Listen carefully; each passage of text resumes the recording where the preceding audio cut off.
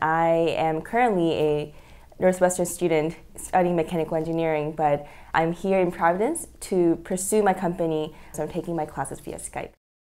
Jerry the Bear is um, the interactive toy for children with type 1 diabetes. And the idea is that by simply playing, you learn how to give insulin shots, um, check your glucose levels, and how to manage your healthy diet.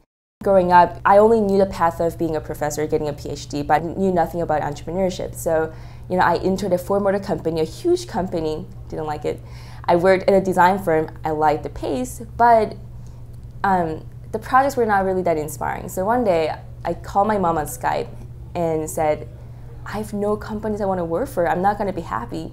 And the more I work in the project, I realized, wow, like through entrepreneurship, I can learn different stuff. I can learn about IP, you know, business plans, engineering, design, just everything. And it challenges me, and I love doing it. I've been doodling since I was two. Um, growing up in a family, my parents are um, from South Korea, and I was born in the United States.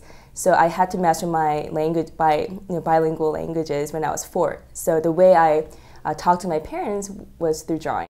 I deal with um, designing all the hardware as well as all the software. Building from the ground up uh, a sound playing system, something that displays screen, logs data, SD card, and then also sort of the complex problem of how do you make a piece of code have a personality?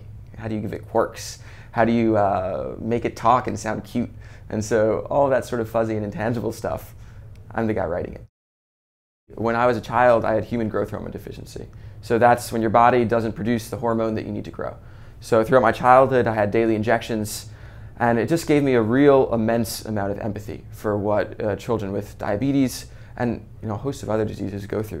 I have a personal attachment to diabetes because um, my father's family, um, in the past like five generations or more, um, they're all diagnosed with type 2 diabetes. I realized, um, you know, I want to do something about that. I want to change it.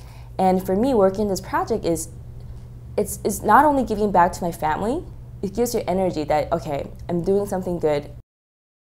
Aaron's from this really creative family, and my background is all academia and professors.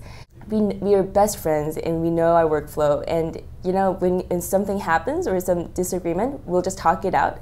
Usually that's for three minutes and we're back in our work and just um, always high-fiving each other. So i'm really blessed to work with him because you know i mean nothing is better than working with your best friend that you you trust and love the most my hope for the future is really being like a role model for other women entrepreneurs to be uh, or students to be entrepreneurs every day has been Jerry Day. That's what I call it, and I I just love doing it.